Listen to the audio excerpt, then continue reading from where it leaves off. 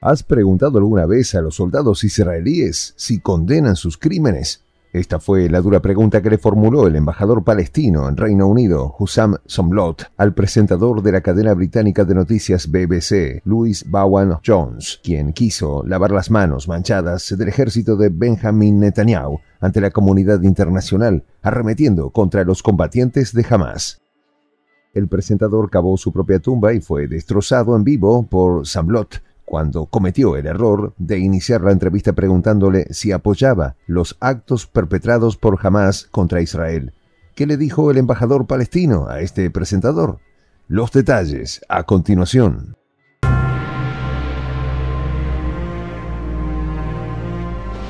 Voz de la Patria Grande. Cuando Vaughan Jones le preguntó a Somlot si apoyaba a su juicio, claro está, los presuntos actos extremistas de Hamas contra Israel, el embajador palestino de inmediato le cuestionó diciéndole que esa no era una pregunta adecuada. Sin embargo, ante la ansiedad del presentador británico que deseaba una respuesta ante una cuestión que consideraba muy importante, Somlot le recordó lo siguiente. Jamás es un grupo de milicias y yo estoy aquí como representante de Palestina y no de Hamas. Yo estoy aquí para defender al pueblo palestino. El embajador continuó diciendo que la posición del gobierno palestino respecto a los combatientes de Hamas es conocida y muy clara y que si se debe condenar a alguien debe ser al gobierno de Israel que lleva años masacrando a los palestinos.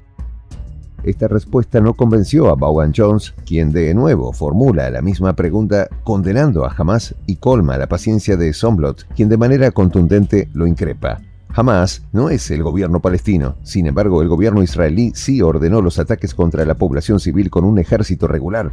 Por eso no es posible buscar simetrías aquí, no se puede equiparar.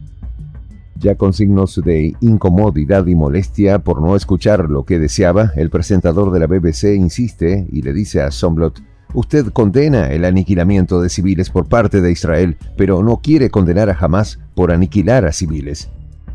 Somblot responde de nuevo, ¿cuántas veces has entrevistado a altos funcionarios israelíes? Cientos. ¿Cuántas veces ellos han cometido crímenes de guerra en vivo frente a sus cámaras? Y comienzan las entrevistas preguntándoles si se condenan a sí mismos. No, nunca.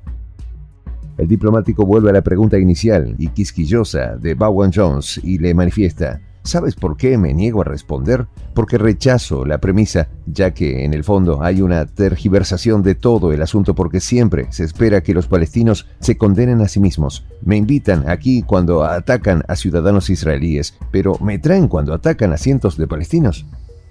El embajador palestino, que se hizo viral de inmediato, aseguró que las imágenes de los últimos días en Israel son muy trágicas y reflejan la vivencia del pueblo palestino desde hace 50 años, producto de la política hostil del ejército de Israel que viola constantemente los derechos humanos.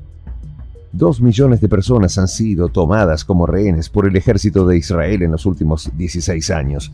Ustedes conocen la situación en Gaza, la prisión al aire libre más grande del mundo. Sería bueno abandonar esta retórica y contarle a la gente la verdadera y sangrienta realidad, agregó Somblot, haciendo referencia al silencio cómplice de los medios occidentales plegados a los intereses de la Casa Blanca.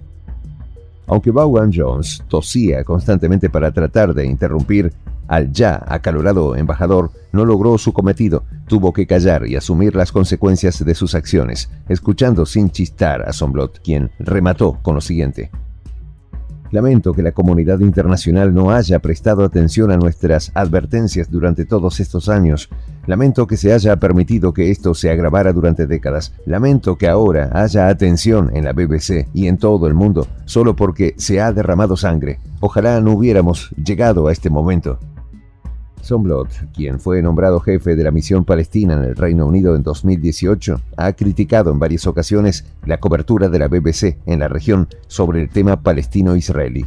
En abril pasado, el diplomático anunció que boicotearía al medio por su política editorial poco ética esto sucedió luego de que un titular de la BBC describiera a la mezquita de Al-Aqsa en Jerusalén Oriental como un lugar sagrado en disputa. No obstante, ante la oleada de críticas en el ámbito internacional, el medio británico se vio obligado a cambiar el titular. El embajador palestino Somlot insistió en que la BBC haga bien su trabajo de informar de manera equilibrada a la humanidad y recordara, por ejemplo, que desde la creación del Estado de Israel en 1948, miles de personas, tanto civiles como militares, han sido ultimadas por el régimen de ocupación israelí con el fin de controlar el territorio de la Palestina histórica según datos recopilados por organismos internacionales desde diciembre de 1987, es decir, después del inicio de la primera intifada y hasta septiembre del año pasado, el 87% de las víctimas mortales vinculadas al conflicto son palestinos. En total, cifran alrededor de 13.400 palestinos que perecieron, aunque los grandes picos de violencia a mansalva de los últimos 40 años están relacionados con la segunda intifada que se produjo entre el año 2000 y 2005 y cobró la vida de 2.674 palestinos y 971 israelíes. Cabe destacar también que las cuatro guerras libradas entre 2008 y 2009, 2012, 2014 y 2021 en la franja de Gaza han ido aislando a los palestinos de su territorio, sometiéndolos a un feroz bloqueo económico y militar, siendo una constante los bombardeos indiscriminados, cortes de energía y hasta el bloqueo del acceso a la alimentación, salud y educación. Incluso según datos de la ONU, de los 6.400 palestinos que perdieron la vida en los últimos 15 años, el 84% se concentra en la franja de Gaza. Más de la mitad son civiles, incluyendo centenares de niños y adultos mayores. Analistas coinciden en que la brecha entre Palestina e Israel en cuanto a la correlación de fuerzas es gigantesca y dramática, si se toma en consideración el número de heridos en medio del conflicto desde 2008 hasta la fecha, da un total de 158.000, siendo más de 152.000 de suelo palestino. La brutal violencia por parte del ejército que persigue al pueblo palestino incluye linchamientos a plena luz del día y de hecho se ha recrudecido en los últimos 10 años en los cuales vale destacar Palestina no ha figurado en los titulares de prensa de los medios occidentales.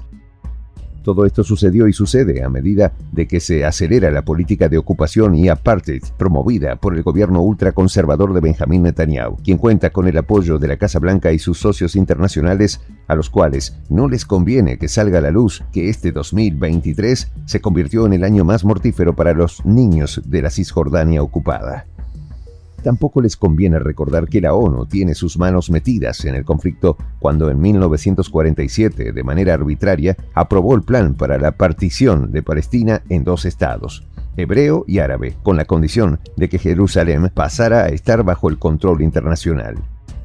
A Occidente tampoco le interesa rememorar que el 6 de diciembre de 2019 Donald Trump recrudeció el conflicto cuando anunció el reconocimiento de Jerusalén como capital de Israel y ordenó el traslado de la embajada estadounidense desde Tel Aviv.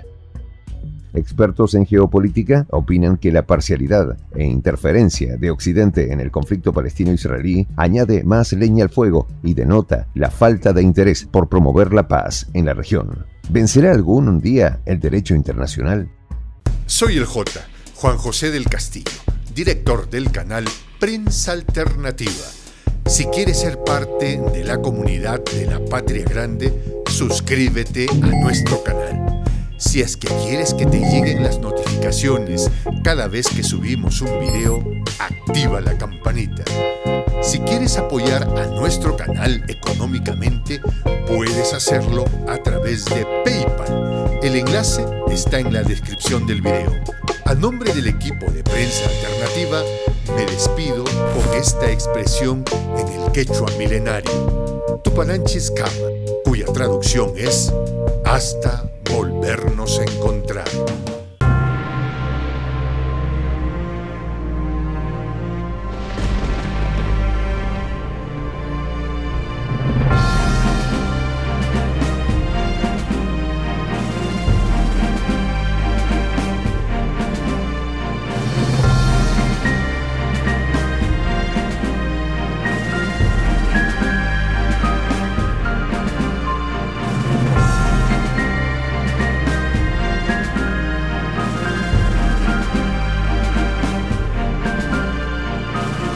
Voz de la Patria Grande.